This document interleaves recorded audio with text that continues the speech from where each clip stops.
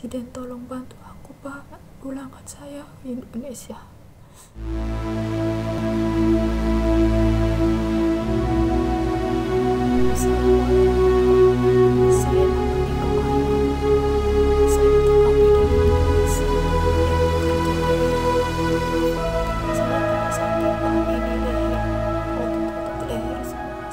Rokaya, 40 tahun. Pekerja migran Indonesia atau TKW asal Kabupaten Indramayu sakit parah di Arbil, Irak. Melalui rekaman video, warga desa Eretan Wetan, Kecamatan Kandang Haur tersebut berharap Presiden Joko Widodo bisa membantu pemulangannya ke tanah air. Ia bahkan sampai tiga kali memohon bantuan kepada Joko Widodo untuk bisa pulang melalui video tersebut. Dalam rekaman video itu, Rokaya berbicara dengan suara serak. Ia juga meneteskan air mata dan wajahnya pun pucat.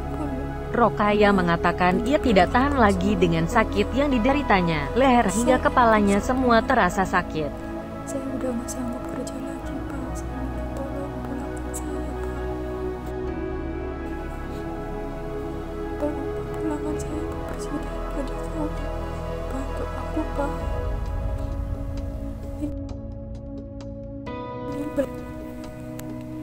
Setiap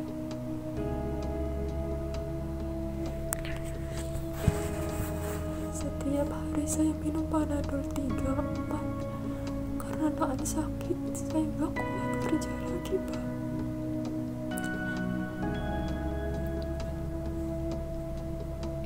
Tolong bantu aku pak presiden. Minta tolong. Pulangkan saya Rekaman video tersebut pun diterima Serikat Buruh Migran Indonesia (SBMI) cabang Indramayu. Keluarga TKW tersebut berharap Rokaya bisa dipulangkan ke Indonesia, mengingat kondisinya yang mengkhawatirkan.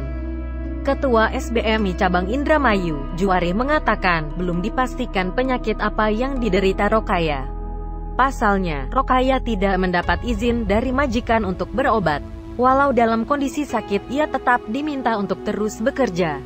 Masih disampaikan Juari, selain merasakan sakit yang berlebih di bagian leher dan kepala, pada mata Rokaya pun mengalami gangguan. Banyak muncul bintik hitam dari penglihatannya. Rokaya juga sering mengalami sakit kepala yang teramat. Pihaknya pun akan mengupayakan agar Rokaya bisa secepatnya mendapat perawatan, termasuk upaya membantu pemulangannya ke Indonesia. Pak Jori, ini infonya ada TKW yang sakit namun tertahan di Irak itu gimana sih Pak ceritanya Pak? Iya, eh, kemarin SBM Indramayu dapat pengaduan dari PMI Pekerja Migran Indonesia atas nama Ibu Rokaya. Dia bekerja di Erbil sudah kurang lebih hampir satu apa sembilan bulan. 9 bulan. Hmm. Dia berangkat eh, dari 10 Januari 2021. Hmm, kondisinya gimana Pak? kabarnya eh, kabar terakhir kondisi dia sedang sakit parah eh, tapi minta dipulangkan tetapi pihak majikan eh, tidak apa tidak boleh atau melarang bahkan dia masih terus dipekerjakan Hmm, padahal kondisinya sudah parah itu da- dari Indonesia emang sudah sakit? katanya eh, menurut informasi dan kata dia sendiri dia sebenarnya sudah eh, sudah sakit tetapi karena dia dapat uang fee dia Hmm. dijerat eh, apa ada unsur jeratan apa hutang sehingga dia tetap eh, berangkat ke Hmm. Erbil Termasuk TPPO bukan sih Pak ini Pak? Nah ini uh, udah jelas uh, unsur-unsurnya sudah memenuhi karena apa? Karena dia uh, si PMI terjerat hutang atau ada uh, jeratan hutang.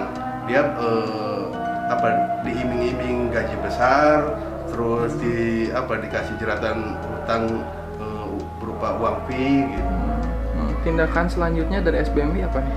Untuk tindakan eh, dari kita, pertama-tama kita akan mengamankan dulu eh, si PMI-nya, Ibu Rokayanya, eh, dengan cara kita meminta bantuan ke pemerintah pusat eh, agar eh, dia segera diselamatkan dari majikan atau segera dia dipulangkan karena kondisinya memang ya sudah sakit parah. Tadi juga TKW meminta bantuan ke Pak Jokowi ya? Iya, eh, dia minta bantuan ke Bapak Presiden eh, Jokowi agar segera memulangkan dia dari Irak.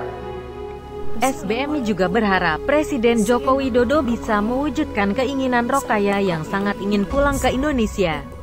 Rokaya sendiri diketahui berangkat ke Arbil, Irak pada tanggal 10 Januari tahun 2021 lalu melalui sponsor bernama Saini warga Kecamatan Kandang Hahur, Kabupaten Indramayu. Saya sakit udah lama pak. Saya minta pulang ke majikan dia nggak boleh. Katanya suruh suruh ganti rugi. Saya beli kamu katanya mahal. Katanya harus ganti rugi katanya. Jangan lupa like, subscribe, dan share ya.